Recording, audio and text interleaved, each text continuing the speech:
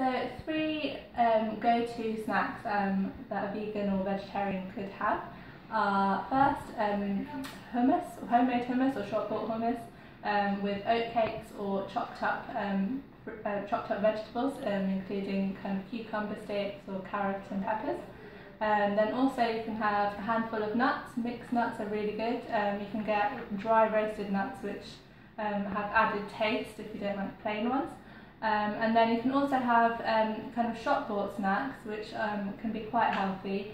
Um, I tend to go for things such as like Nakd bars which are just naturally um, naturally pressed um, together kind of uh, dates, nuts and seeds. So those are, those are really quick and handy snacks.